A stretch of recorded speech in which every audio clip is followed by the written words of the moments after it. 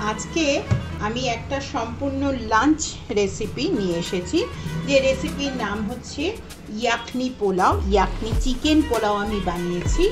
এটা অত্যন্ত সুস্বাদু একটা খাবার। আসুন দেখে নিই কী করে এই পারফেক্ট ইয়াকনি চিকেন পোলাও বানালাম। আজকে যে রেসিপি আমি নিয়ে এসেছি, সেই রেসিপি হচ্ছে ইয়াকনি পোলাও। ইয়াকনি পোলাও একটি বিখ্যাত রেসিপি কিন্তু এটা খুব সহজভাবে বাড়িতে আমরা কি করে বানিয়ে নেব? সেজন্য আমি প্রথমে কড়াতে দিচ্ছি একটু সাদা তেল। এইটা সম্পূর্ণ আমি কড়াতেই বানাবো অ্যারাউন্ড এখানে। আর দিচ্ছি এখানে ঘি। ঘি এবং তেল এই দুটোরই কিন্তু মিশ্রণে এটা তৈরি হবে। দিয়ে দিচ্ছি গোটা গরম মশলা। টু স্পুন জিরে, এটা সাদা জিরে। এটা যখন মোটামুটি ভাজা হয়ে গেছে, আমি এর মধ্যে দিয়ে দিচ্ছি পেঁয়াজ। এখানে আমি দুটো পেঁয়াজ মোটামুটি কুটে রেখেছি, মিডিয়াম মাপের। এই দুটো পেঁয়াজ প্রথমে খুব ভালো করে এটা ভেজে নিতে হবে। খুব লাল করে না হলেও মোটামুটি একটু লাল লাল করেই কিন্তু এই ইয়াকনি পোলাওয়ের পেঁয়াজটা কিন্তু ভেজে নিতে হয়। এর মধ্যে দুটো আলু, আমি একটু চৌকো চৌকো করে কেটে রেখেছি। এই আলুটা দিয়ে ভালো করে প্রথমে এটা ভেজে নেব। নমস্কার, আমি পারমিতা। আপনারা দেখছেন পারমিতার পা এবারে আমি এর মধ্যে একটু বড় চামচে, দু চামচ মতন আমি এর মধ্যে আদা এবং রসুনের পেস্ট দিচ্ছি। এই আদা এবং রসুনের পেস্টটা কিন্তু তেলের সাথে খুব ভালো করে প্রথমে ভেজে নিতে হবে। কিছুটা টমেটো। এখানে অ্যারাউন্ড একটা মিডিয়াম সাইজের টমেটো আমি কেটে রেখেছিলাম। এই টমেটোটা আমি এর মধ্যে দিয়ে দিচ্ছি। এর মধ্যে দিয়ে দিচ্ছি সামান্য একটু পরিমাণে চিনি। এবার আমি এর মধ্যে দিয়ে দিচ্ছি কিছুটা চিকেন এখানে অ্যারাউন্ড থ্রি হান্ড্রেড গ্রামস মতন এখানে আমি নিয়ে এসেছি, এটা সম্পূর্ণ বোনলেস চিকেন এই চিকেন আলু এবং এই মশলা সমস্তটা খুব ভালো করে প্রথমে কষিয়ে নিতে হবে। এবারে আমি এর মধ্যে দিয়ে দিচ্ছি, এটা হচ্ছে পোলাওয়ের চাল। যেহেতু এটা প্যাকেটের চাল, সেজন্য আমি আর এটা ধুইনি, এটা একদম সুন্দর চাল। যেহেতু আড়াইশো গ্রাম থেকে তিনশো গ্রাম মতন মাংসটা ছিল, সেজন্য আমি এখানে দেড় বাটি পোলাওয়ের চাল দিলাম।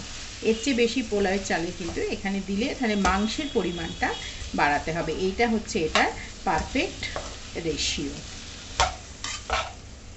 এই চালটা সাদা হওয়া পর্যন্ত একসঙ্গে সবটা মিশিয়ে একটু ভালো করে প্রথমে এটাকে ভেজে নিতে হবে। সব সময় পোলাও বানাবার জন্য গরম জল দেবেন। এখানে আমি ওয়ান টু থ্রি ফোর আর ফাইভ প্রথমে আমি পাঁচ বাটি জল দিয়ে এটা বসালাম। সেদ্ধ না হলে এর মধ্যে দিতে হবে আরও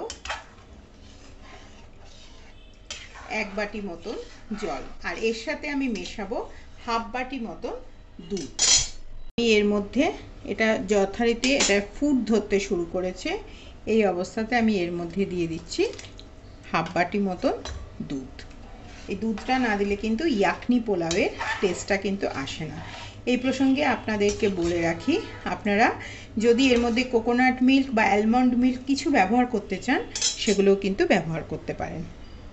এবারে আমি দিয়ে দেবো এর মধ্যে পরিমাণ মতন লবণ। যেহেতু এটা চালের আইটেম সেই জন্য লবণের পরিমাণটা একটু বেশি লাগবে। এখানে অ্যারাউন্ড আমি তিন স্পুন মতন লবণ দিলাম। এটাকে ঢাকা দিয়ে এবারে আমি প্রথমে সেদ্ধ করে নেব খুব ভালো করে।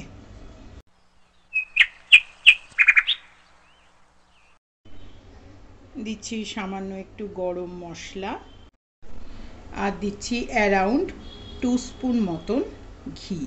এই ঘিটা কিন্তু একদম সুন্দর স্বাদ দেবে। মানে অসম্ভব ভালো কিন্তু এটা খেতে হয়। আমি এটাকে স্ট্যান্ডিং টাইম দেবো অ্যারাউন্ড পাঁচ মিনিট। এখানে আমি পরিবেশন করে নিচ্ছি ইয়াকনি চিকেন পোলাও।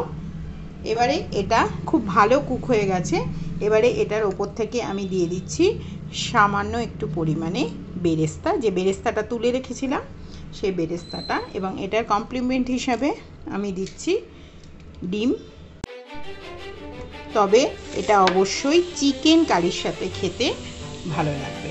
তাহলে আশা করি আজকে আমার এই রেসিপিটা আপনাদের ভালো লাগল। যদি ভালো লেগে থাকে, তাহলে অবশ্যই আপনারা আমার চ্যানেলটিকে সাবস্ক্রাইব করে আমার সাথে থাকবেন। আগামীতে আমি আবার ফিরবো।